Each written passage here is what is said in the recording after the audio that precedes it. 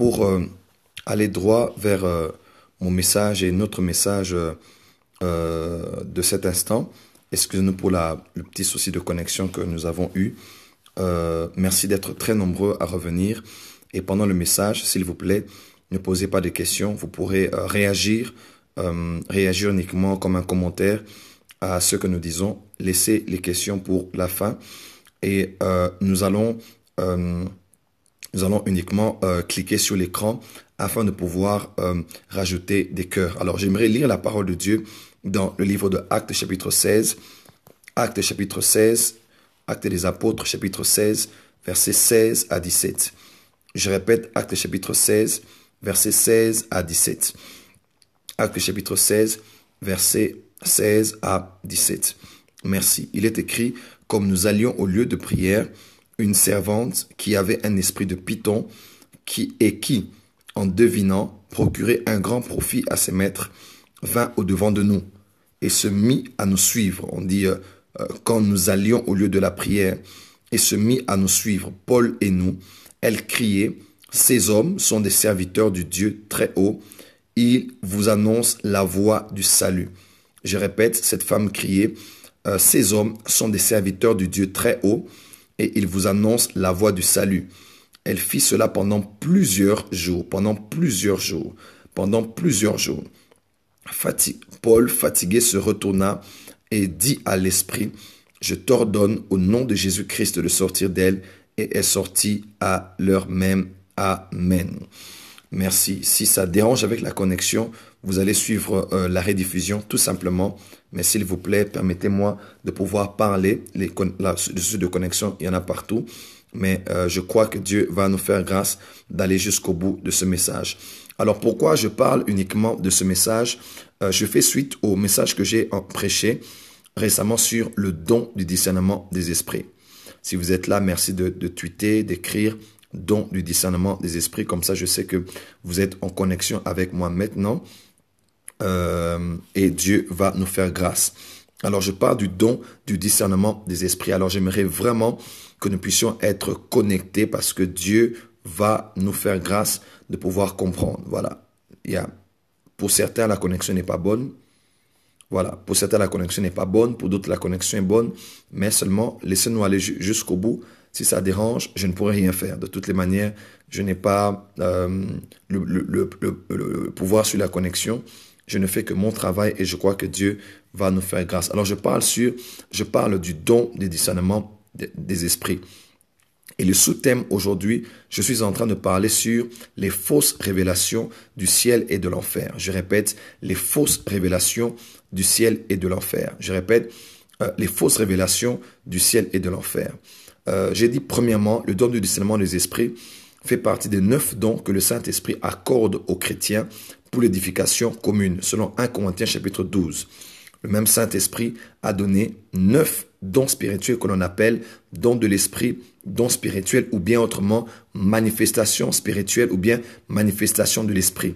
Il y en a neuf. Et le don du discernement des esprits est classé dans la catégorie des dons de révélation euh, que comprennent les dons de la parole de sagesse, le don de la parole de connaissance et le don du discernement des esprits là, c'est dans la catégorie des dons qu'on appelle les dons euh, de révélation. Mais il y a une autre catégorie à laquelle le don de discernement des esprits fait partie, c'est ce qu'on appelle les dons prophétiques. Les dons prophétiques. Lorsqu'on parle des dons prophétiques, certaines personnes confondent le ministère prophétique, le don de prophétie et les dons prophétiques. En général, le, le ministère prophétique, c'est dans Ephésiens 4. Là, c'est un don du Christ. 2. Le don de prophétie est un dons du Saint-Esprit, selon 1 Corinthiens 12. Mais les dons prophétiques sont une catégorie euh, spéciale qu'englobe en général le don de parole de connaissance, le don de parole de sagesse, le don de prophétie, le don de discernement des esprits. Il y a quatre dons à l'intérieur de cette catégorie qu'on appelle les dons prophétiques. C'est en général les dons euh, avec lesquels le prophète opère en général. Donc, on les appelle en général les dons prophétiques c'est-à-dire des dons qui ont attrait à la révélation et qui fonctionnent en général avec le ministère de prophète. Le don du discernement des esprits est donc, premièrement, euh, euh, la capacité surnaturelle que le Saint-Esprit accorde à un croyant ou un serviteur de Dieu de pouvoir euh, connaître ce qui est à l'origine des choses, des faits, des événements, des paroles, des actions et même des manifestations spirituelles. Lorsque le don du discernement des esprits est, à l'œuvre, on ne voit pas uniquement des faits, on n'entend pas uniquement des paroles, on ne voit pas euh, uniquement la manière dont euh, les choses sont en train de se faire, on ne voit pas uniquement des manifestations spirituelles, mais on voit à l'intérieur en général, on voit, euh, on voit, l'origine, ce qui est à la base, ce qui est à la source et spécifiquement l'activité spirituelle, l'activité spirituelle qui a derrière des faits, des événements, des paroles, euh, des actes ou des manifestations spirituelles. Deuxième définition. Le, don du serment des esprits est la capacité surnaturelle donnée par le Saint-Esprit par un croyant de pouvoir voir dans l'invisible. Voir dans l'invisible, voir dans l'invisible, voir dans l'invisible l'activité des esprits, l'activité des esprits.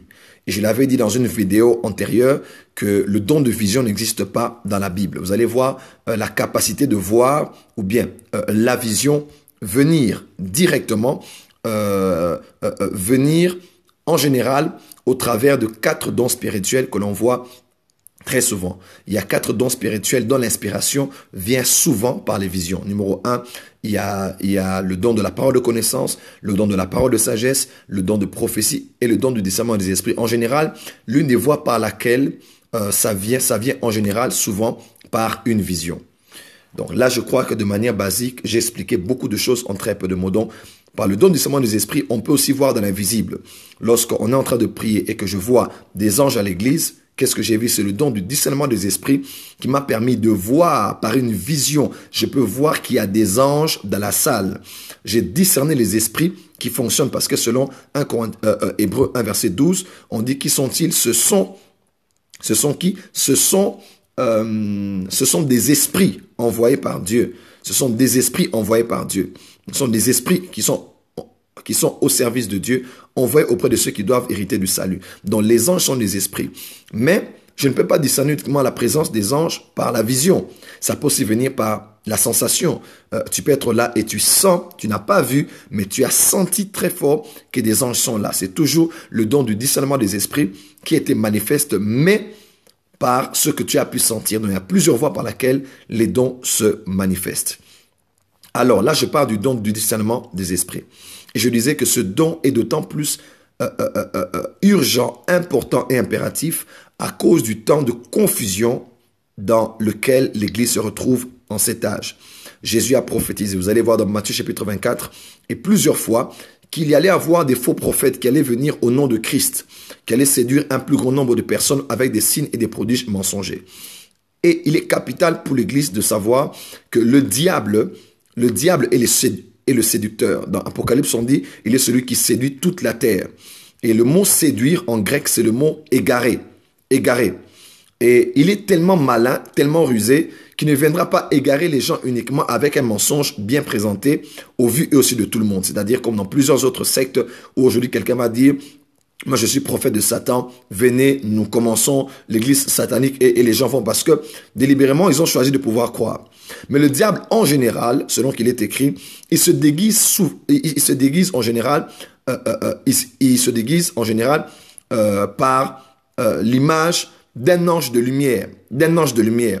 Donc, il vient comme un ange de lumière. Pourquoi? Pour séduire. Parce qu'il sait que s'il vient comme étant le diable, comme étant, euh, euh, euh comme étant Lucifer, comme étant prince des, des, des, ténèbres, vous n'allez jamais croire que c'est lui qui est en train de venir. Voilà pourquoi dans la Bible, vous allez voir deux fois où Jésus, dans ce ministère, a été tenté fortement par le diable. La première fois, c'est dans Luc 4 ou Matthieu 4, vous allez voir que tu puisses mourir. Et Jésus a dit, arrière de moi, Satan. Où était alors dans ce cas le moment favorable dans lequel euh, Satan était revenu. Satan était revenu derrière Pierre. Hmm. Satan était revenu derrière Pierre. S'il vous plaît, je traite pour la parenthèse. Quelqu'un dit j'adore votre chemise. S'il vous plaît, s'il vous plaît, que les chrétiens ne fassent plus jamais cela. C'est vrai qu'on peut parler dans un sens figuré Lorsqu'on dit adorer, c'est aimer, c'est apprécier, c'est préférer. Mais s'il vous plaît, chrétiens, sanctifions le verbe adorer pour Dieu. Mon esprit n'a pas été content, je, dois suspendre ce que je dis. Le verbe adorer doit être uniquement pour Dieu. Dis, tu aimes ma chemise, prophète, j'aime tes messages, euh, ma soeur, j'aime bien ton teint, mais s'il vous plaît, adorer, sanctifions ce verbe uniquement pour Dieu. S'il vous plaît, je sais que nous parlons bien français en Europe, en Afrique. Euh, j'adore. Je sais très bien que le, le sens profond était uniquement de pouvoir dire que j'aime beaucoup, mais s'il vous plaît, en tant que chrétien, gardons le verbe adorer pour Dieu. Sinon, si on dit adorer, euh, j'adore ta chemise, j'adore le message, prophète, j'adore euh, la beauté de ta femme, j'adore euh, ton église, j'adore tes enseignements, là c'est compliqué. Alors il n'y a rien de sanctifié pour Dieu, il n'y a rien de mis à part pour Dieu. On dit que ton nom soit sanctifié. Alors s'il vous plaît, beaucoup de chrétiens ne connaissent pas ça, je vais même mettre ça demain probablement sur mon, mon Twitter, même sur Facebook, s'il vous plaît. J'ai souvent repris les gens en, cela, c'est avec amour, mais s'il vous plaît, pas cela pour mon Dieu. Le verbe adorer, gardons-le pour Dieu, parce que le verbe adorer, déjà dans son sens profond, euh, parle de l'adoration. Alors s'il vous plaît, on n'adore que Dieu et lui et lui seul. Euh, je comprends le fond de la pensée, mais qu'à cela ne tienne, on peut rectifier cela. Merci. Donc Satan est revenu, Satan est revenu dans un moment favorable. Le moment favorable, c'était en ce moment-là. Quand Jésus ne pouvait même pas savoir que Satan allait venir. Il est venu quand Jésus a eu le plus confiance en Pierre parce que c'est son Père qui avait inspiré Pierre en ce moment-là. Satan est venu au moment favorable ou de manière camouflée au travers d'un apôtre et un disciple de Jésus-Christ. Donc, il faut faire très attention. Satan ne viendra pas comme ça dire c'est moi Satan. Non, il va venir derrière un serviteur de Dieu, derrière un message, derrière quelque chose qui semble même être ou bien qui a été autrefois sujet d'une grande crédibilité, d'une grande ouverture, d'une grande bénédiction, il faut que les chrétiens fassent très très attention. Alors, il y a un sujet pour le moment pour lequel on a besoin du don du discernement des esprits. Dans 1 Timothée 4, l'apôtre Paul dit à Timothée, il y a des gens qui vont s'attacher à des doctrines de démons.